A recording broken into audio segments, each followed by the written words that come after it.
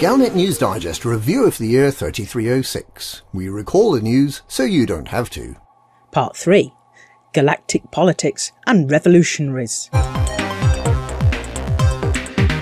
On the 10th of September 3306, four starports were badly damaged by blasts. Initial reports suggested Thargoid attacks, but it gradually became apparent that although Thargoid technology had been used to wreak such massive damage, the perpetrators were human, imperial subjects in fact, and that this was the opening salvo in a civil war that by the end of the year had come close to causing a war between Federation and Empire.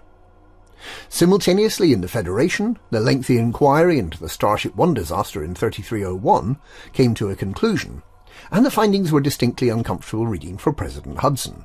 These two stories became intertwined through the last four months of 3306, so it's easiest to look at them together.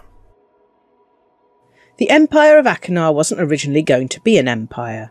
The colonisation of Achenar 6D, now known as Capital, was organised and achieved by wealthy anti-federal citizen of Earth in the year 2292. This wealthy individual was Marlin Duval, and her intention was to create a properly democratic, pacifist, and people focused alternative to the industrial behemoth and stifling social conformity of the Federation. The fledgling Republic of Achenar was initially a single colony, but it quickly spread over the surface of the naturally Earth like moon. It was organised with democratically elected senators to represent the people and a council, in which Marlin Duval herself was prominent as an executive. To some, this Republic of Achenar was the utopia they had long sought, but it had a far shorter life than anyone could have imagined. Just four years after the Republic was founded, Marlin, her partner, and all her children died in a shuttle accident. More than 1,000 years later, the suspicion still lingers that the shuttle accident may have in fact been a targeted assassination, sororicide by the person who assumed control of the ruling council after Marlin's untimely death.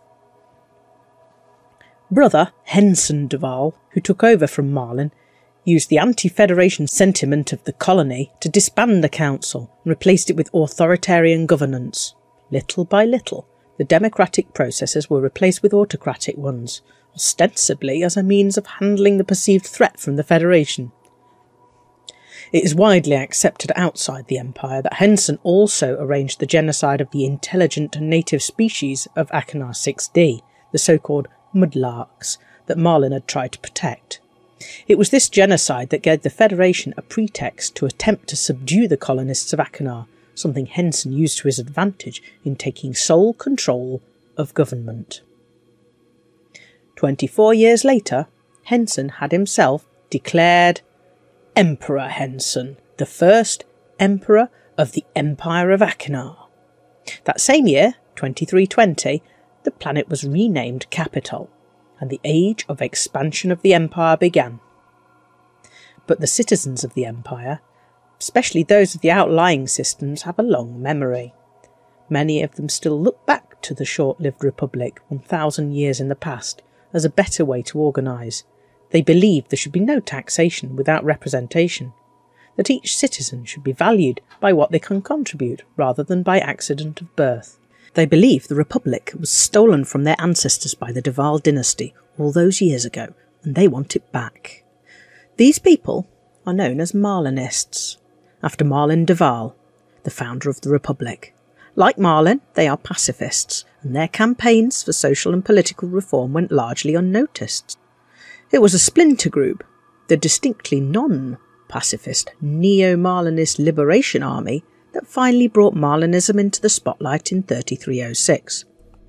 Having tricked engineer Liz Ryder into creating a delivery mechanism, this group of terrorists is believed to have established two separate bomb-making factories. They detonated bombs using Thargoid enzymes to cause maximum damage in four stations, including one in Princess Aisling Duval's Semiez system. Two days later, they assassinated Princess Aisling's father, Prince Harold Duval, who many feel ought to have become emperor when Hengist died in 3301. It was this assassination that appears finally to have brought the warring branches of the Duval dynasty together behind the emperor, with Aisling and even would-be usurper Hadrian brought back into the fold following an attempt on his life. and in the face of an external existential threat to the family as a whole. The NMLA continued to attack council buildings and to assassinate minor members of the Duval clan through subsequent months, leading to a rapid, sustained and brutal response from the Empire. The Imperial Internal Security Service attempted to arrest Liz Ryder for her part in the construction of the bombs, although they eventually accepted that she had been an innocent dupe. Senator Patreus next ordered the IISS to impose martial law in Aguada, to detain and interrogate all known Marlinists and thus to identify the terrorists among them. In the face of this oppression, on the 16th of October there began a mass exodus of Marlinists and Marlinist sympathisers from at least eight systems 234G Carinae, Balthasine, Beatis, CD-393269, Chana, HIP 39470, Mazuenses, and Nahuatl. The vast majority of this first wave of refugees fled to federal systems, and President Hudson might easily have sent them all straight back to meet their fate, had he not been at that moment in the middle of a political and criminal meltdown. The report on the attempted assassination of President Jasmina Halsey in 3301, the event that led to Zachary Hudson's rise to federal president, found that there was strong evidence suggesting that the hyperdrive of Starship 1 had been sabotaged. Federal Navy Chief Technician Rory Webster was implicated and arrested, charged with mass murder and attempted treason. On the 9th of October 3306, just days before the flotilla of Marlinist refugees set sail for the Empire, Webster confessed to the sabotage but explained that he'd been acting on the direct orders of Fleet Admiral Lucas Vincent the same Admiral Vincent who had destabilised President Halsey by bombing the onion head fields of Kappa Fornacis against her wishes. The same Admiral Vincent who is a close personal friend of President Hudson.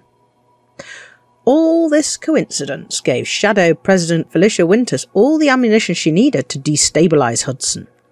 Many congressmen resigned from the Republican Party in protest at Hudson's alleged involvement in murder, losing him his majority. And so, it was Shadow President Winters who was able to decide what would happen to the Marlinist refugees, and she chose to let them stay. Not only that, she granted them temporary federal citizenship, and she refused the Empire's requests for the Marlinists' extradition. But Vice President Winters couldn't stop the Federal Security Service from screening the new Marlinist federal citizens. Out of the hundreds of thousands of refugees, just nine suspected NMLA terrorists were identified and arrested. They were taken to Kepler Orbital in Atropos for questioning, with the intention that they'd be returned to the Empire for more detailed interrogation, and it was to prevent the return of their members to the Empire, something that would have led to their torture and the discovery of the remaining bomb-making facilities, that the NMLA bombed Federation starport Kepler Orbital, destroying the secure facilities and killing the detained terrorists. That was the fifth and so far the last starport that has been bombed by the NMLA. There was civil unrest and food shortages in the federal systems where the refugees were being housed, but this was nothing compared with the state of inter-superpower relations. Relations between the Empire and the Federation were now at a worse state than at any time since 3302, when Senator Patreus said the Empire would no longer abide by the London Treaty on Arms limitation.